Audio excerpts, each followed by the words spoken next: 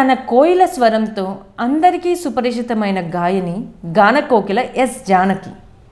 తన సంగీత ప్రయాణంలో ఎన్నో మలుపులు అవార్డులు ప్రశంసలు.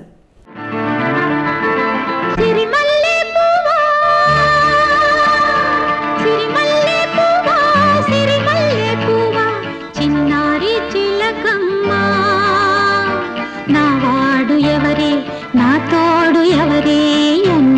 ఎన్నాళ్ళకొస్తాడే సిరిమల్లె పువ్వా సిరిమల్లె పువ్వా చిన్నారి చిలకమ్మ. నా వాడు ఎవరే నా తోడు ఎవరే ఎన్నాళ్ళకొస్తాడే.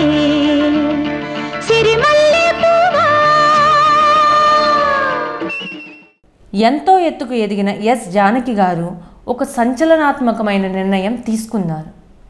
గాయకురాలిగా రిటైర్మెంట్ తీసుకున్నట్టుగా ప్రకటించారు. అరవై ఐదేళ్ళ క్రితం మైసూరులో పాటలు పాడడం ప్రారంభించారని తన చివరి కచేరీని కూడా అక్కడే ఇచ్చి విశ్రాంతి తీసుకుంటానని చెప్పారు. కోలమ్మ గళ్ళ కోకి కోరిల్ది ఇచ్చుకోవా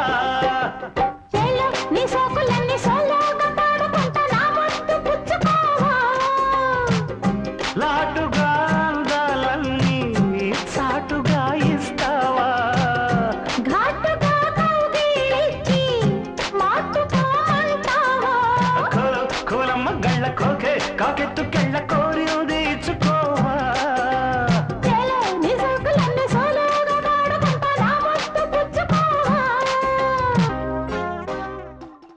ఈ నెల ఇరవై ఎనిమిదిన మానస గంగోత్రి మైదానంలో తన చివరి కచేరీ జరుగుతుందని ఆమె తెలిపారు.